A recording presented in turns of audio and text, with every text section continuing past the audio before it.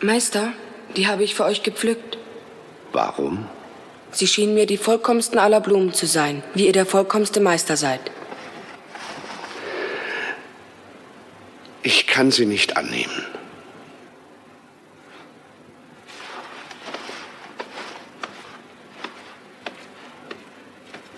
Grünschnabel.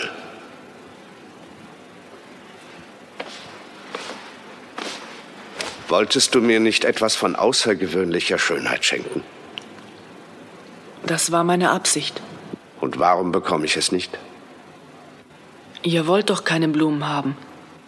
Hast du keine Liebe für mich? Euch gilt meine ganze Liebe. Lieblosigkeit zeigte der andere Junge. Er wollte mir etwas aus Berechnung schenken. Er war falsch. Ich fürchtete, ihr würdet sie ablehnen. Ich fürchtete, verletzt zu werden. Hast du jetzt nicht eine Freude verloren, die wir miteinander hätten teilen können?